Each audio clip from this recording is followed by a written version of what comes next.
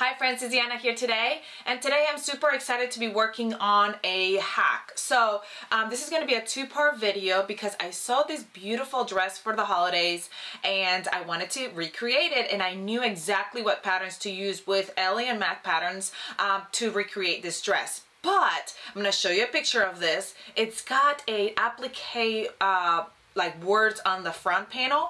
So we're gonna today work on those applique letters. I'm gonna show you just exactly how I'm going to um, get those on my top without an embroidery machine. It's just gonna be on my regular sewing machine. And then I'm going to use two patterns to recreate the rest of the dress. And that will be our next video. Super easy, super quick, super simple. I'm so excited. Let's get started.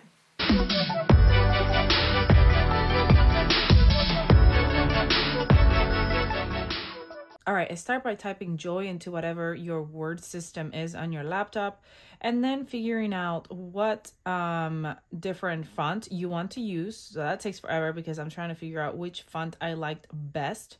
Eh, this one's cute. I think I'm just going to go ahead and go with this one. And then I'm going to make it as big as I want it to be. All right. Um, my orientation is on landscape right now so that I can make this a little bit bigger so I can see that um, I think this is gonna work. I'm not sure, but we'll see once it's printed if I need to make it bigger or smaller. Obviously, you can look at the sizing of it and figure out if, if it's gonna work for you or not. Um, and then what I'm gonna do is I'm gonna go to my web browser and then I'm gonna type in uh, clip art ornament outline free.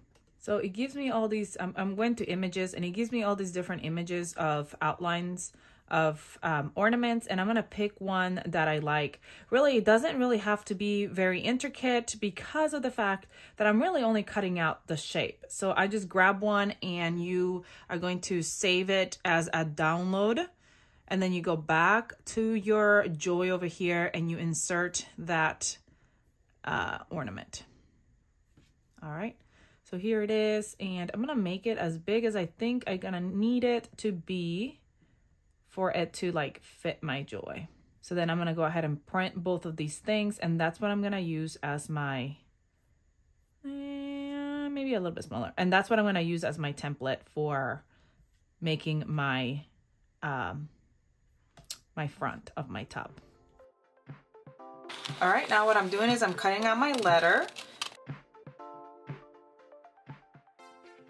So yes, if you had a Cricut and you wanted to do this on vinyl, that would be one way to do it. Also, if you had an embroidery machine, you could just embroider this right on there.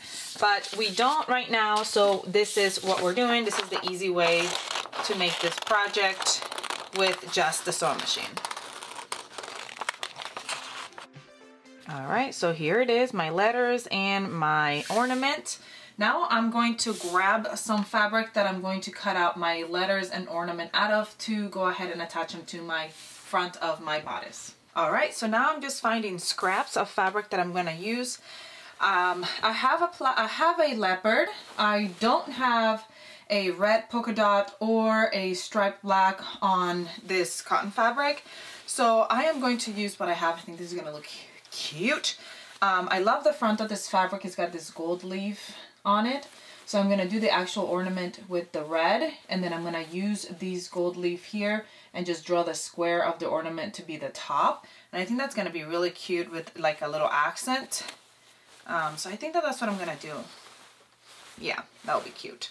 So I'm going to start with the letters and I'm going to flip it the wrong way and I'm going to draw it right onto my fabric. And I'm using a water soluble marker, but you can really use any kind of marker because it's going to be on the back of the fabric anyway. You could draw it on the front of the fabric facing right with a water soluble, but um, you can also flip it like I just did and draw it on the back.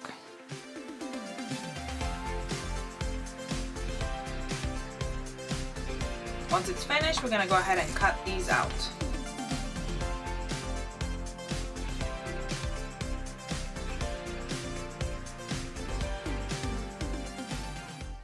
All right, so once it's cut out now, I'm kind of seeing that I like this pattern to be facing up. I think that that's what I'm going to do.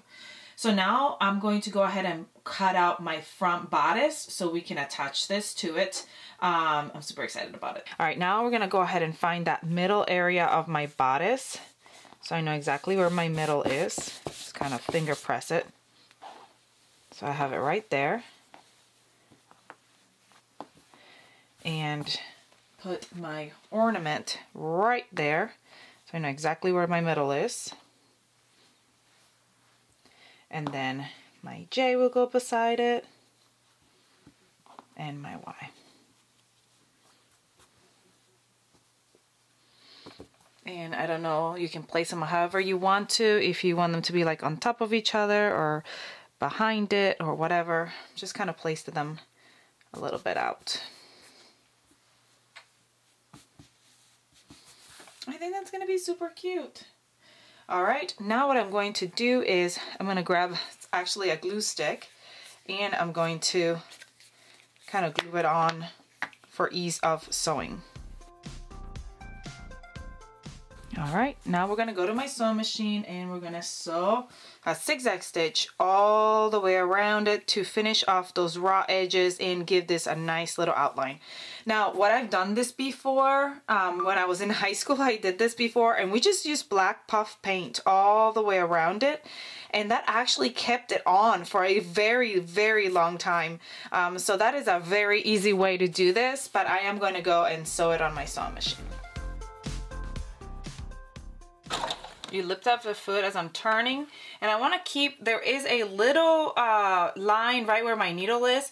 I want to keep that right on the edge of my fabric so that my needle is going right on the inside and outside of my fabric like back and forth See how that is? It's all zigzagged on. If you wanted to go around it again, make it a really thick zigzag, you can do that, but I think I'm just gonna move on to the next one.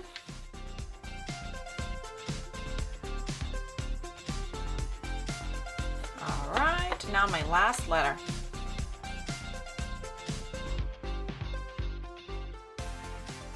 Alrighty friends, now that that's quote unquote embroidered on, we're gonna cut all these little trims and we're going to give it a good steam and we are done with this part of our project. You know, I like to show you these little simple things because sometimes we look at things online or we look at uh, projects that people have made and we're like, no, I can't do that. I don't have this machine. I don't have this um, you totally can do it. There is an easy way to do a project and you can end up with such a cute uh, little front like this. All right, friends, we are finished. Oh my goodness, this is going to be adorable. Just imagine this as a cute dress. I can't wait. So please don't miss out. Come join me next time as we finish sewing up this cute dress. I hope you have a great rest of your day.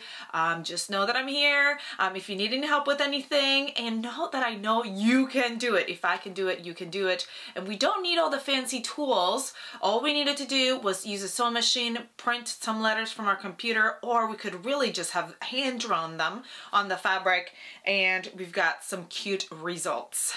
Let me know if you're gonna try it. Let me know if you love it. And let me know if you can't wait for the next one.